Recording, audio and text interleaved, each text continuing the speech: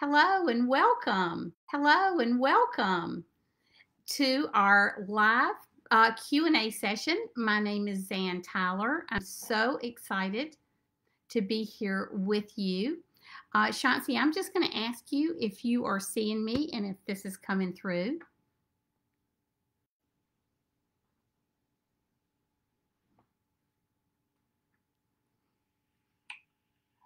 Hold on just a Okay, second. okay. Are you seeing any of that? Um, not right now, but hold on. Okay.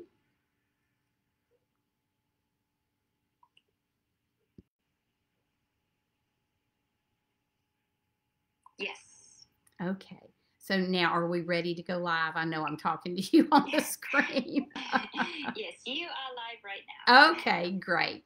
Okay, Shansi, who is wonderful, has been helping me with uh, the process of going live. We had a few technology hiccups, but I think everything is good to go.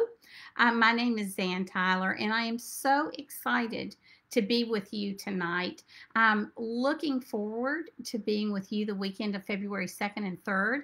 The third is the Women's Encouragement Day, and we'll be doing a retreat on Refined and um, and how we can remain strong and not burn out as homeschooling moms. So I'm real excited about that retreat uh, and being with you there.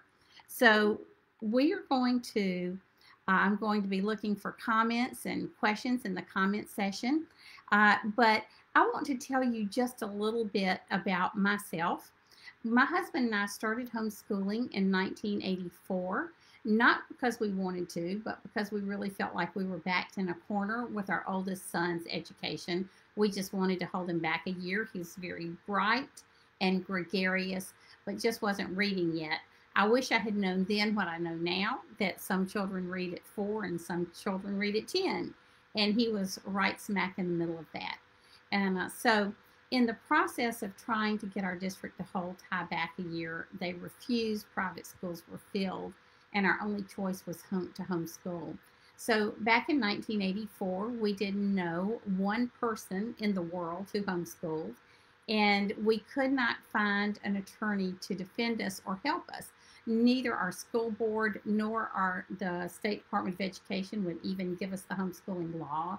There was no homeschool legal defense there were um, there was no LexisNexis or internet, so you really couldn't find information at your fingertips.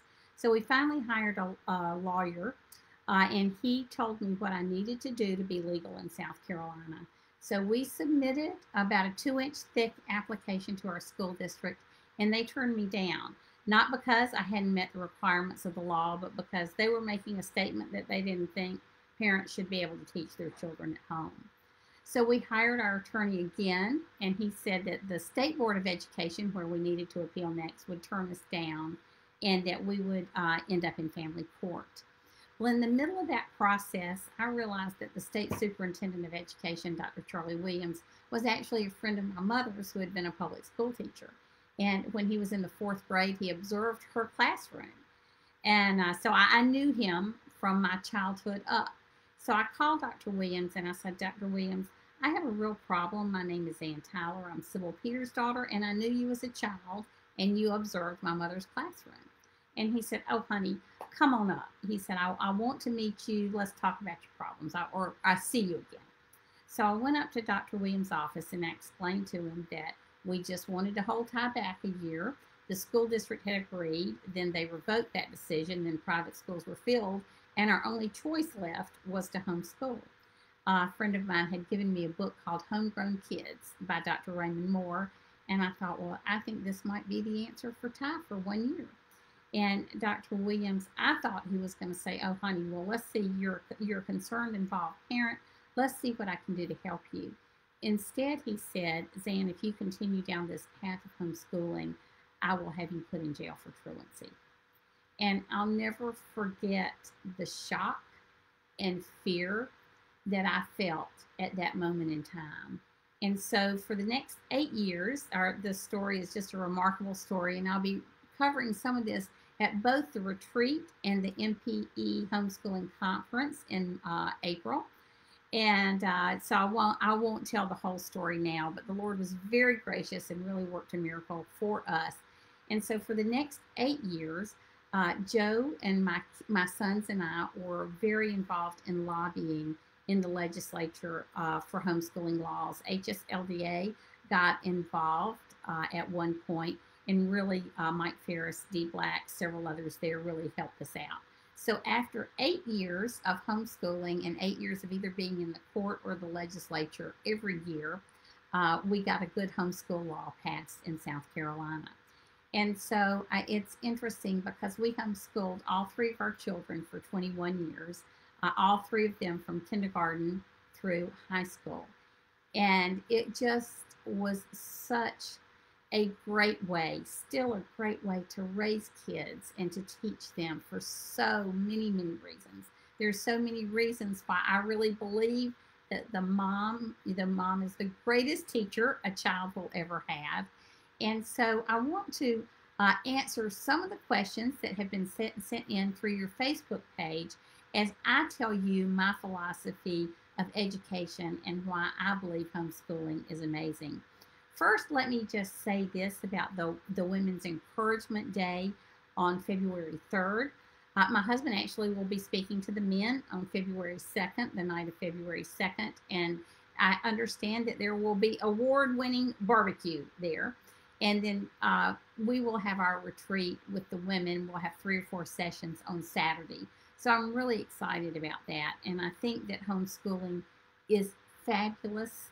Um, it is the most rewarding experience I have ever had in my life to raise my children and teach them at home. But it's also the hardest thing that I've ever done. And so I think I love the concept of the midwinter retreat because in February, we're all getting tired. Those are hard months. You're through the first semester and Christmas. You have not much to look forward to um, in terms of what's coming up next. And and it's really easy, I think, during the cold winter months to get discouraged. So I'm looking so forward to being with you, um, not only at the convention, but at the retreat on February 3rd. And I hope you will all join us. We'll have a book for everyone. Um, my book, Refined, one a homeschool mom's call to trust. So we'll have a book for you. We'll have um, sessions, and I know that the women there have been hard at work over the past year preparing and praying for each one of you. So, so one of the questions I have here is what was the most rewarding moment of being a homeschool mom? And you know, I really have a hard time narrowing down that to one moment because there were just moments of breakthrough with each of our children. I remember when my oldest son, uh, just one day we were eating lunch out, which was highly unusual. We had been working on phonics and reading for over a year, and he picked up the menu and started reading it like an adult. Um, just out of the blue. I would say that was one of those really rewarding moments. Um, maybe with we have two boys that were ne- ne- nine and seven when our daughter was born, and so there was a um, we had lost a little girl uh, when I was five months pregnant before Lizzie was born, and so we didn't expect to have more children, and the Lord was very very gracious to us in giving us Lizzie. So there are rewarding moments with each of them. I'll share one story uh, that happened when the boys were teenagers. One of the things that I think I love the most about homeschooling is our ability to help our kids be other centric rather than self centered. In this day of social media um, and online capacities, people, kids are so concerned with what they look like, what others are thinking of them, it is really hard for them to focus on the needs of others. I love that about homeschooling, that we can do that. And so I can honestly say there were a lot of things that I wasn't consistent enough with. But the things that the thing that we were maybe the most consistent with was trying to teach a heart of service to the kids. So every year we had a service project and service activities that were non negotiable. We wrote them into our lesson plans, and I think they were really life shaping for the kids.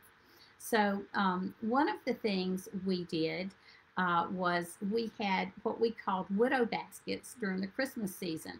When the boys were four and six, I had I really wanted them to grow up to have this heart for other people and this heart of, of service. The second greatest commandment is that we love others like we love ourselves. And so, and put others first, as, as Paul reminds us in Philippians 2. And so I wanted that for the boys and for Lizzie desperately. At this point, Lizzie wasn't born yet. And so I prayed over the verse. Um, the verse the Lord kept giving me was the one in James that says, Pure and undefiled religion is this, that we take care of orphans and widows in their distress and remain unstained by the world. And so we, for some reason, the clarion call for me was the focus and emphasis on widows. And we had a church with about over with over 20 widows in it. It wasn't a, an extremely large church, but we did have a lot of widows. So I went down to the church, got the name of the widows. I had tried, let me say this as an aside, I'd tried various organizations where I could bring the boys with me and we could serve together. And all of them would say, when you put your kids in school, come back. We'd love to have your help. And um, so, so this was a project we could do together. And we started that first year. The boys learned um, scripture passage, maybe 10 or 12 verses, um, several hymn, several verses to four or five Christmas carols and, you know, Christmas carols, some of the classic hymns are a great way to teach poetry and language arts and theology. It's amazing the theology in the, the old classic hymns and the Christmas carols. And we, uh, we cooked something and we made a craft and a Christmas ornament. And so the first year I remember I had the boys, I would call each widow ahead of time and say, We just have a little something we'd like to drop off for you. And the boys would say their verses and sing their songs and give their gifts. And that was about it the first year.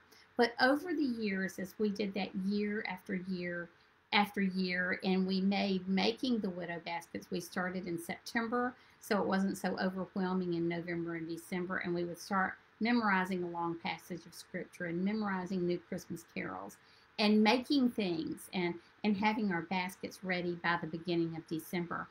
And and it became an important part of our Christmas making these deliveries to the 20 or 25 widows, and we added staff members in our church. It just was this growing thing in our home. And so I think one of my most precious moments in homeschooling came when the boys were probably, they were either 14 and 16 or 13 and 15, and they had disappeared upstairs. And I could tell they were really collaborating on something, which made me a little nervous. So I went upstairs to find out what they were doing. And it turns out they were planning our widow basket deliveries. And they said, Mom, we've got these 20 baskets to deliver. And we know Miss Yates is going to want us to stay. Miss Vincent's going to want us to stay. Uh, the Vanderwaters might want us to stay.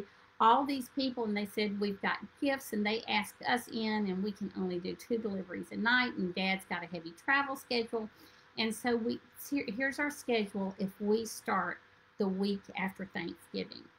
And you know, it was them taking the initiative in a project like that and um, to serve other people. It really became our Christmas, our focus at Christmas. Not that they still didn't have the energy to tell me what they wanted for Christmas. They they told me that plenty, but it was a focus on other people. And you know, as the kids went off to college, it was amazing how a lot of their prayer support came from the elderly people in our church. And often when they would come home from college and we would have them for that short weekend, it was amazing how they would find one of the widows to sit with in the congregation. So I just want to encourage you that homeschooling is such a great way to teach and train kids. Uh, as a mom, I believe you're the greatest teacher and coach. That doesn't mean you teach everything. You certainly um, can take advantage of co ops and video classes like we have. Um, we offer many at BJU Press Homeschool. And so I'm a great believer in having help and using resources. But we also want to remember that God called us on this earth to serve and love others. And, and homeschooling is just a natural um, way, uh, it's a natural springboard for serving together The areas that the Lord calls you to serve in will be different than the ones He calls me or maybe your neighbors to serve in. But you maybe as a family, you can pick out a project. As a co-op, you can pick out a project.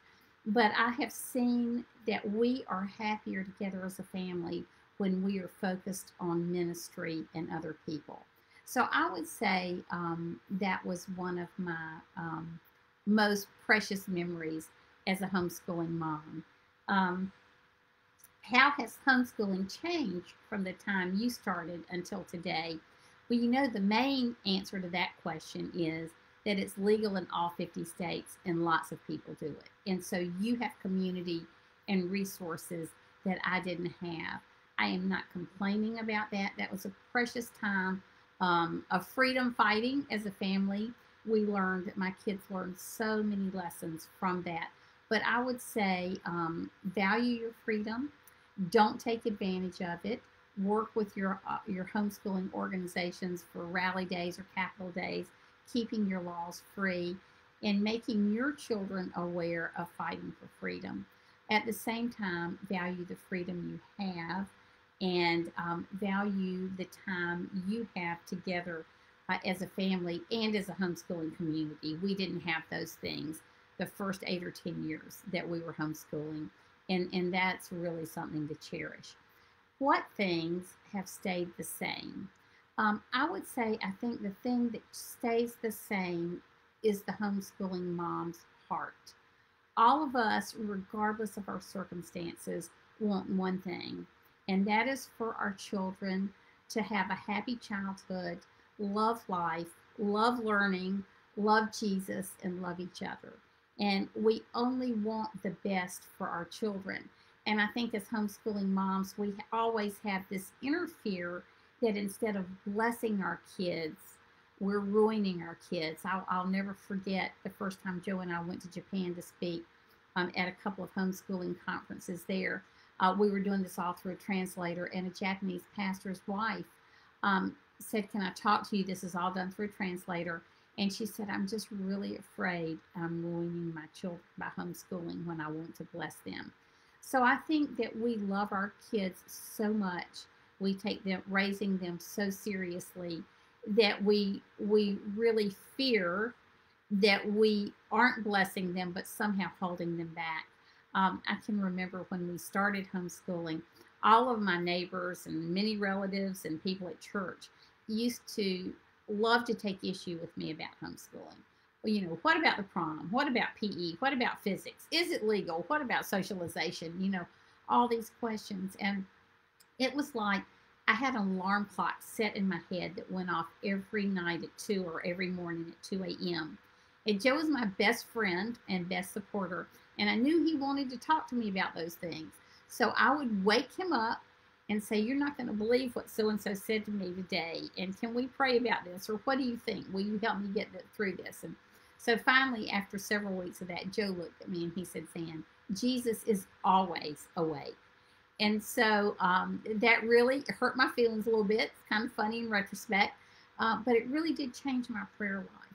And so I spent a lot of time in the wee morning, wee hours of the morning, really praying over our homeschooling and asking the Lord to bless our kids, bless our schoolwork, bless their lives. And so I would just encourage you that you are doing a great service for your children by laying down your life for them so that you can bless them and teach them and help them you know, I had a good education growing up, but I don't know that I ever had a, a, a teacher who stayed awake in the middle of the night praying over me, whether it was a character flaw or not being able to grasp a geometry concept. I'm just, you know, we we worry about our kids because we love them. And we want to make sure we're doing the best for them because we love them. So it's really love for our kids that motivates us.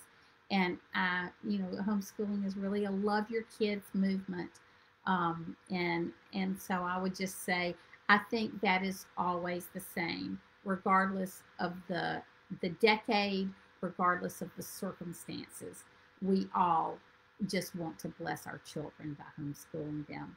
Um, what intrigued you the most about committing to be one of our speakers at the Women's Encouraging Day, Encouragement Day? I think um, just knowing the heart that MP, the MPE leadership has for you all as homeschool moms and knowing how hard the winter months can be. I always love some of my most favorite moments as a speaker come during that midwinter period when we all tend to get so discouraged. And so I would really encourage you, if you haven't already signed up, um, come come to the, the Women's Day of Encouragement, not just for the speaking, but for the praise and worship and the meals and the community and fellowship. I think it will really, uh, really make a difference as you go toward the end of this school year. And um, what are you most excited for um, on the Encouragement Day event? I think for me personally, it's getting to know a lot of you. It's getting to speak encouragement and hope into your lives. The encouragement I didn't have as a young homeschool mom and would love to have had. And I know that I'll enjoy the community there um, and the heart of everyone to be together. So uh, let's see. Let me see if we have any comments here. Um, okay. Did your kiddos ever have a desire to go to public school? Uh, if so, how did you handle this? Um, you know, I can think of, I can think of two situations where that happened. The first was um, my my oldest son. You know, he just started talking to me. He said, "Mama, I'd really like to go to school with real, real kids and uh, and um, go to a real school." And and it was interesting because we were about in our third or fourth year of homeschooling. And i had no idea that the lord was going to call us to homeschool through high school because i had seen one homeschool family that was homeschooling in high school at that point in time and i could not even imagine that. Um, and somehow somehow the lord just got us through that. I will tell you when your kids ask to do that you might want to take some time out from your lessons do a few things that they really love. Take a vacation, take some field trips.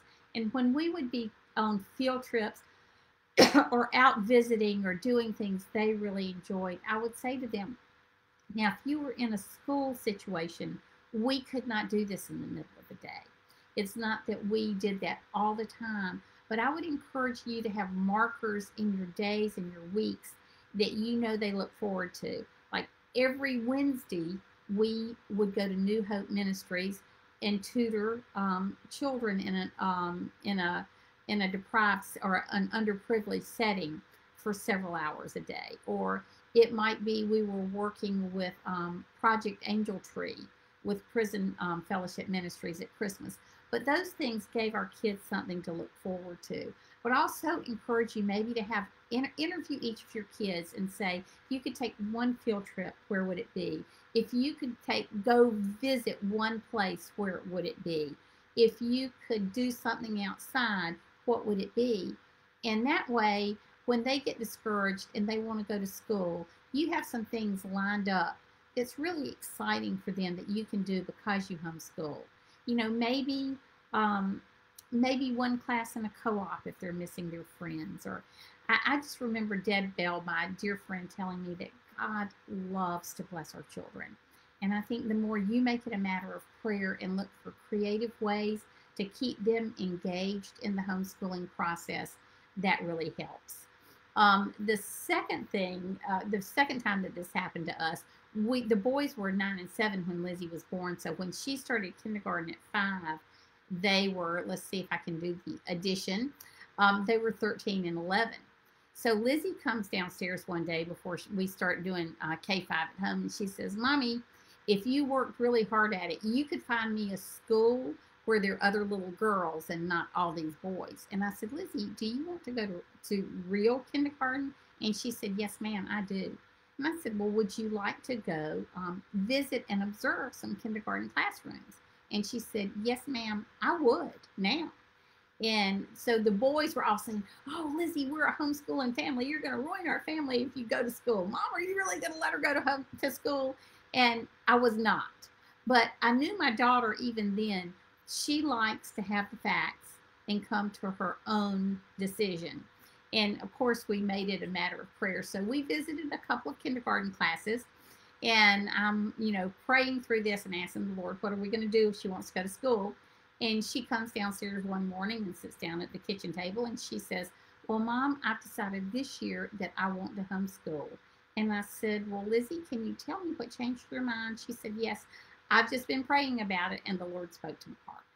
And um, so, you know, so you're going to have different instances where your kids want to go to school. I think um, one of our one of our sons in high school came to Joe and talked to him about going to school in high school, and Joe just handled that masterfully. So if you feel like this is a calling, um, and this is where the Lord has you and your kids, I really believe He will continue to make that way for you. And I think one of your your biggest helps now is so much community in the homeschooling world and, and take advantage of that when you can. Um, let's see, there was another question, I think. Um, okay, hold on. All right, let me scroll up just a little bit. Do you think generations now are blessed or hindered by so many curriculum choices and pressures? Well, I will tell you, I think homeschooling brings pressure with it, whether you have a lot of choices or few choices, um, because, because of the nature of homeschooling. And the buck stops with us when we homeschool.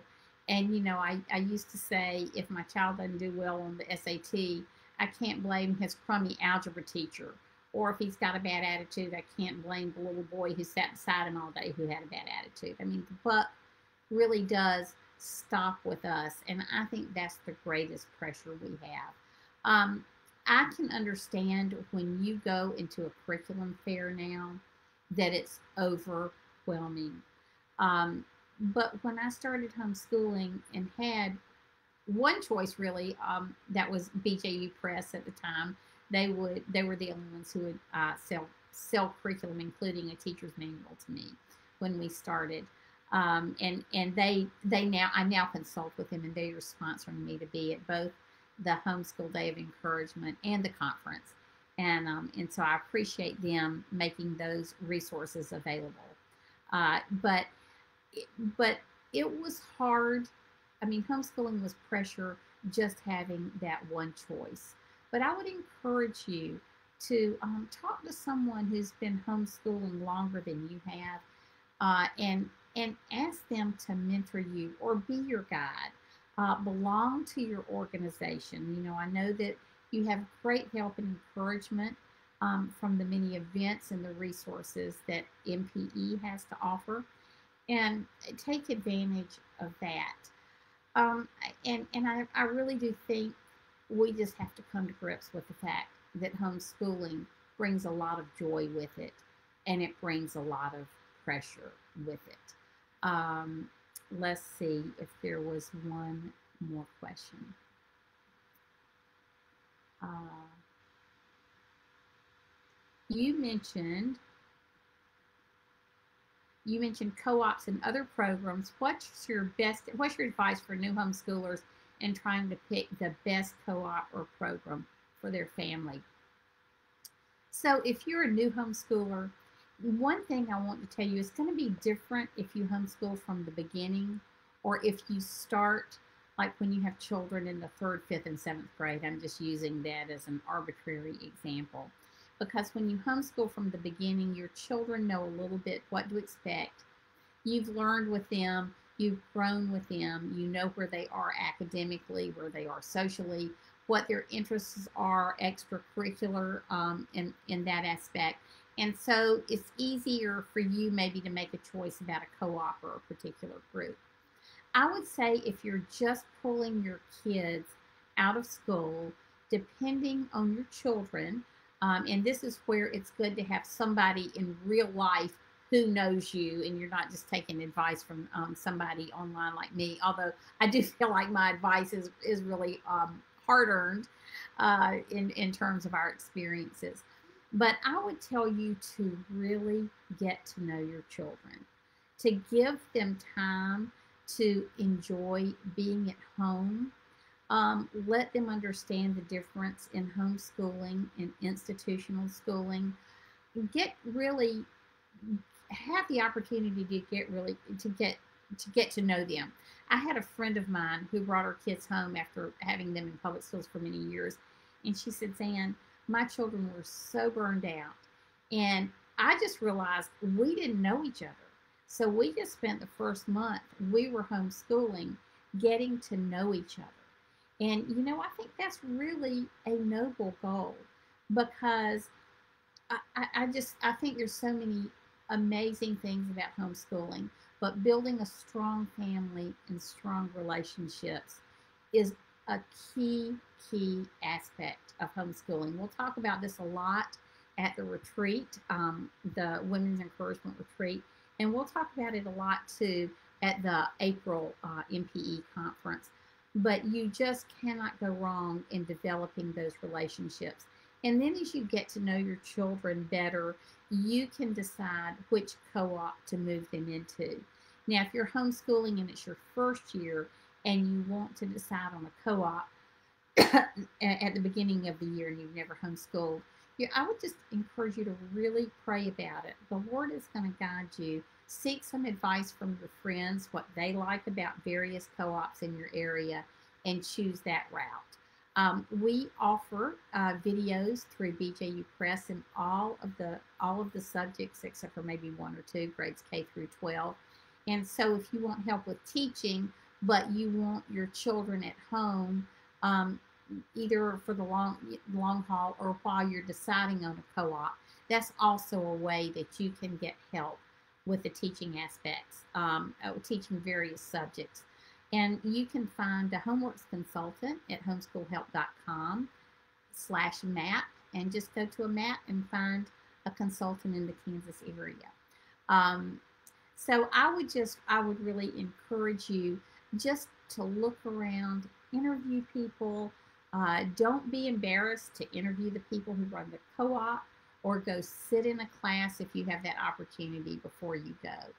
But, you know, I think my the best advice I can give you is to really enjoy the time you have with your children. Really get to know them. Develop that love and trust. Um, you know, make uh, make service an important part of your family life that will bond you together. And then, of course, just reading God's Word together, uh, growing in your Christian journeys together all of those things are going to be the, the, things that make your homeschooling experience so rewarding for you and for your kids. Let's see if we have um, any other questions.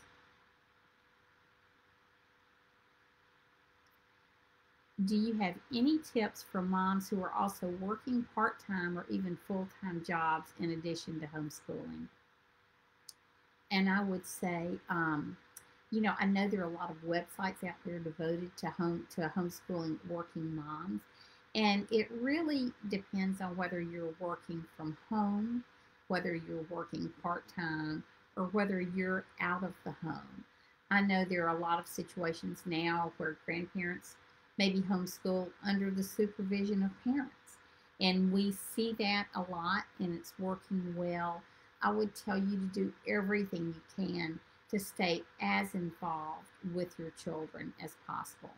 I know a lot of moms who just have one child who will take that child to work with them, and the child works beside them um, in a, a little, you know, a little place in the office while the mom is working. I think each each season of life in that regard is going to be different.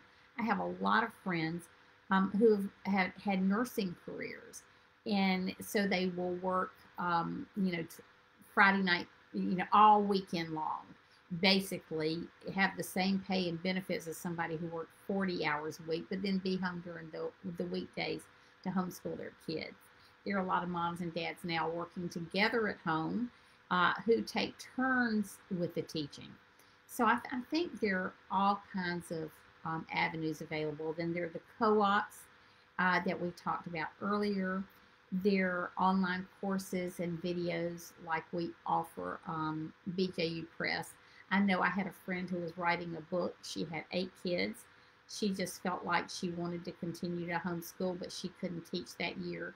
And they would all get out their laptops in the morning and sit down, and the kids would watch their videos and do their schoolwork while the mom wrote, and they were all together doing that. So you just really need to find out what works best um, for your family, and it's going to be trial and error. And I think you need to give yourself some grace. Some things are going to work well, some things are going to be a bust, and you just figure out what some things are going to work for one child uh, and not the other. And then I think that's one of the greatest aspects of homeschooling is that you can keep trying things you know, trying different schedules, trying different approaches to your work, uh, and and see how they affect each child. Um, it's you know it's it's hard. It's going to be demanding, but I will tell you that homeschooling, having that time with your children, directing their education, um, knowing what their interests are, and matching the way they learn and the courses they take to their passions and their learning styles, knowing their spiritual giftings. All of these things are just uh, things that we'll continue to talk about at the Women's Day of Encouragement and that we will also um, continue uh, to talk about when we come for the uh, MPAE conference in April. Uh, so we have taken a lot of your time. Um, let's see if there's anything else uh, so, so, all right, so Chauncey, am I right? Let's see, one of our Facebook live giveaway. Okay, it looks like the giveaway has already taken place. Um, I thought I would just show you a couple of the things we have. Let's see if I can do this we have a, um, a When You Homeschool, The World is Your Classroom t-shirt. We have a copy of um, two of my books, Refined, A Homeschool Mom's Call to Trust, and we will be studying this book, and everyone will get a copy there actually uh, at the Women's Retreat. And then a copy of my other book, Seven Tools for Cultivating Your Child's Potential. And it will all come in this bag, um, this BJU Press homeschool bag, which has a great zipper and plastic liner for all the wet things that somehow want to end up in our purses when we're homeschool moms. And so I'm going to check. Uh, Chauncey has been amazing. I think I did have her on uh, FaceTime for a really long time. But I guess we will call it a night. It has been such a pleasure to be with you. I want to uh, especially thank Chauncey and all the, the, the leaders and the women at MPE that have made the Facebook Live possible, but are also making the Women's Encouragement Day possible and the men's encouragement, uh, the, the night of encouragement Friday night. Um, I know Joe's really looking forward to that. And then we're really looking forward to uh, being at your conference. And thank you to all of those who are working so hard to put on that conference. So um, homeschooling, I just want to leave you with homeschooling is a great way to get to know your kids, to give them a world class education, and also uh, just to continue to encourage them to walk in faith. Um, and I hope that I will see uh, all of you on uh, February 3rd at the Women's Retreat. Thanks so much for being with me tonight.